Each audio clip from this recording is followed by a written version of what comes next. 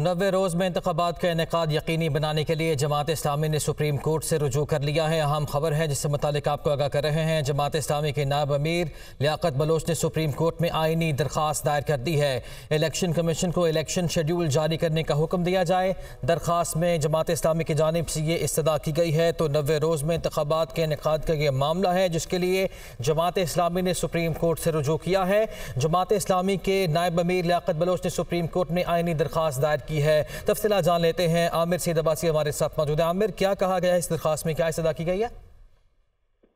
देखिए नबे रोज में इंतबात का इनका यकीनी बनाने के लिए अब जमात इस्लामी ने भी सुप्रीम कोर्ट से रजू कर दिया है और जमात इस्लामी के नायब अमीर लियाकत बलोच ने अदालत उजमा में आइनी दरख्वास्त दायर कर दी है। इस दरख्वास्त में इलेक्शन कमीशन, वफाकी हुकूमत सूबाई हुकूमतों और सूबाई इलेक्शन कमिश्नर्स को फरीक बनाया गया है और इसमें इस्तः की गई है कि इलेक्शन कमीशन को नब्बे रोज में इंतबात के इनका को यकीनी बनाने का हुक्म जारी किया जाए।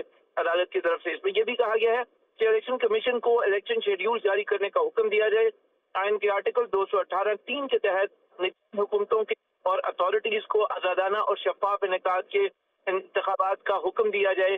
ये कहा गया है इस दरखास्त में और इस्तः की गई है कि नब्बे रोज में हर सूरत इंतबात की तारीख का ऐलान करने का हुक्म दिया जाए। शुक्रिया आपका, आमिर सैद